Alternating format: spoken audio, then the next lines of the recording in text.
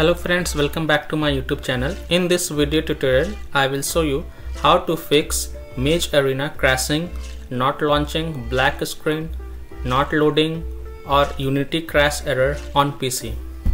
So let's jump to the solutions. The first solution is to try dash dx11 or dash dx12 in launch options. To do so, open Steam, go to library, right click on Mage Arena game this is just an example. Select properties. In launch option, type minus dx11. Then close the tab. Then launch the game and check. If that doesn't work, then again click on Mage Arena game. Select properties. This time type minus dx12. Close the tab and then launch the game and check.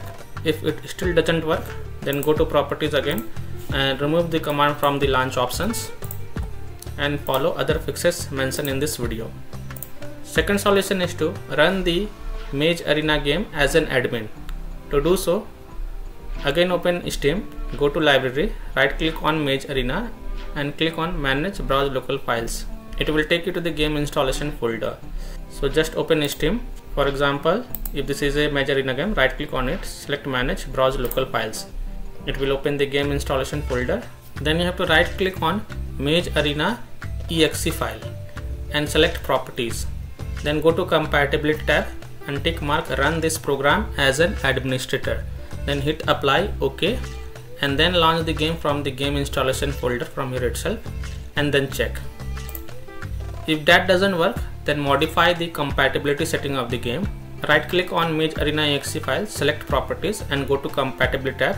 Tick mark run this program in compatibility mode for from drop down select Windows 8, hit apply, OK and then launch the game and check.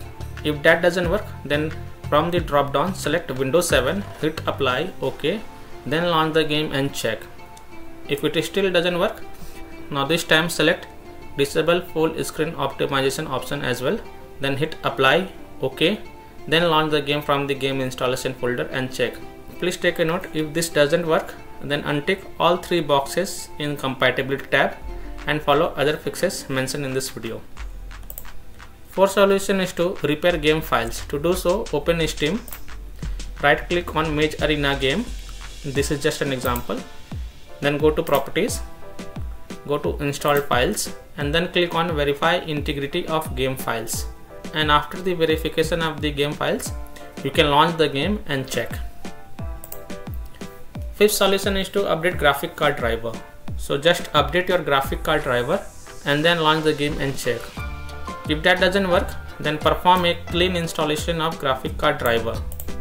To do so, if you are having NVIDIA graphic card driver, then go to official website of NVIDIA. If you are having AMD drivers, then go to the official sites of AMD. And if you are having Intel graphic card driver, then go to the Intel website. Here in example, I am showing the clean installation of NVIDIA graphic card driver.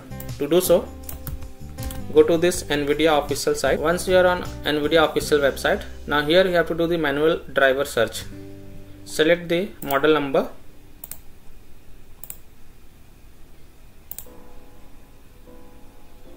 Here I am selecting the my model number but in your case you have to select your model number and then click on find then click on view. Then click on download. And once it is downloaded double click on the exe file and perform a clean installation of a graphic card driver. And after performing a clean installation of graphic card driver you can launch the game and check. Sixth solution is to update windows. To do this click on windows icon go to settings. On the left click on windows update.